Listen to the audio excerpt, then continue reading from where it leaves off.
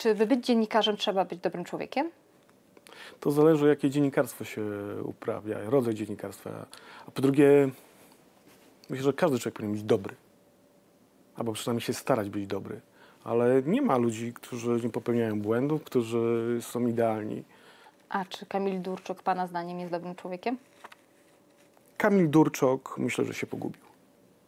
To jest tak, że jak jest się sławnym, znanym, yy, jak się ma pozycję, wiem, bo sam byłem naczelnym, miałem programy telewizyjne, łatwo zgłupieć.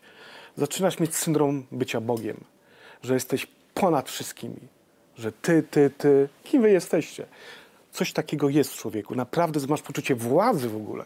To ja dzisiaj mogę zdecydować, że dana osoba skończy karierę ponieważ umieszczę go na jedynce w faktach. My opublikowaliśmy pierwszy artykuł, dopiero wtedy wyszło to, o czym ja nawet nie miałem pojęcia.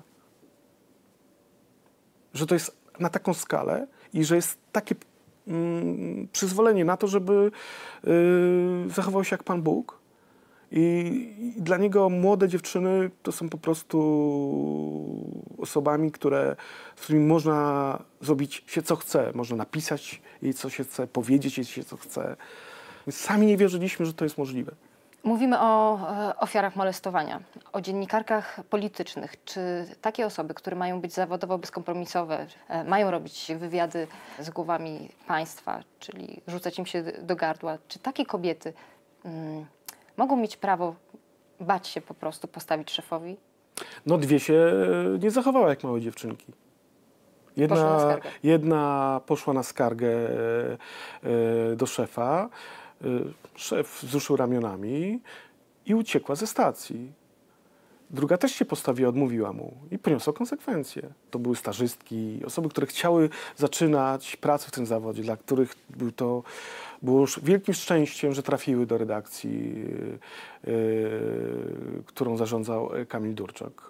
Ofiary Kamila Durczoka, niektóre z nich do dzisiaj, pomimo że minęło tyle lat, my spotykaliśmy się z nimi, a oni po prostu się rozpłakiwały. Zresztą w sądzie też takie sceny miały miejsce.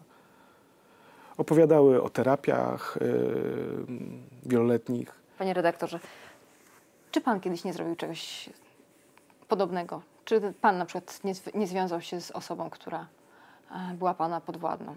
Czy, tak, czy pan ale ma nie molestowałem. ręce? Tak, ale nie molestowałem. Żyłem z nią. Nie zajmowaliśmy się kochankami Kamila Durczoka, których widzieliśmy. To, to jest różne rzeczy. Nikt nie zajmował się e, związkiem e, pieczyńskiego szefa e, e, pani Pochankę.